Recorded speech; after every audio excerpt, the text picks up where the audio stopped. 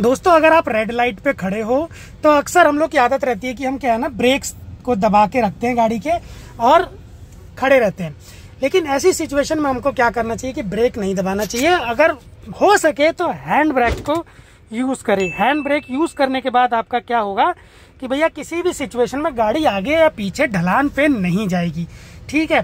जो पैर से दबाते हैं, उसका तो हो सकता है भैया कि यार आपका एक सब कॉन्शियस माइंड से पैर हट जाए और गाड़ी आगे पीछे चली जाए। एक साथ एक बार मेरे साथ हो रखा है। स्विफ्ट तो स्विफ्ट ही गाड़ी थी, सामने खड़ी थी, उसमें हल्की सी टच हुई थी। तो तब मेरे को समझ में आया कि भैया, हमेशा हैंड ब्रेक पे गाड़ी खड़ी रखनी चाहिए। अगर आप ऐसी जगह पे हो जहाँ पे आपको लगता है कि गाड़ी आगे पीछे हो सकती है दोस्तों।